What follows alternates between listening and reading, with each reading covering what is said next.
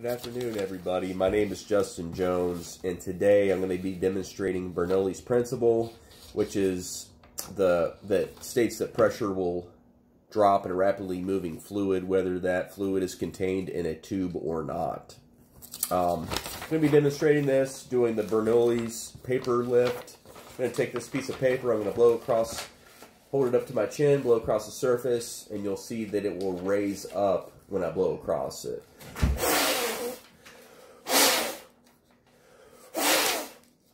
Now, why did that happen?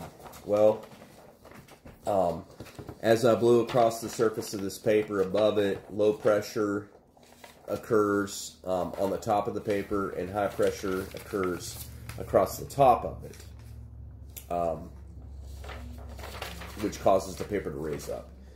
Here is a illustration of what I what I just did.